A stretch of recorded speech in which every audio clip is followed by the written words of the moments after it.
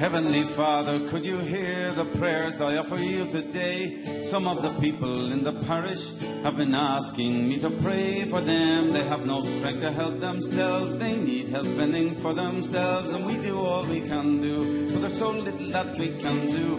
And this is the worst winter I know of, even worse than last. The snow has stayed for too long on the ground. And for the second year around now, all across our little island, we give all our sweat and toil, and still the crops they have all rotted in the soil. And all along the western seaboard they await with open hands for something to feed their children or a ship to foreign lands. But there's nothing here to give them except for chicken feed and sand. While Britannia rules the rules with iron hands. Lord, what can we do now? Oh, good Lord, what can we do when we need to feed so many and there's not even for the few? Lord, what can we do now? Lord, what can we do?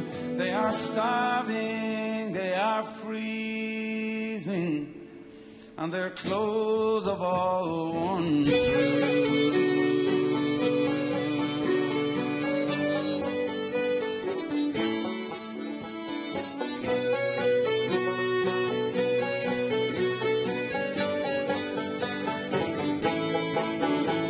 Heavenly Father, your people need you more than ever now. It's such a desperate situation that the nation's in. Somehow I can't see many pulling through.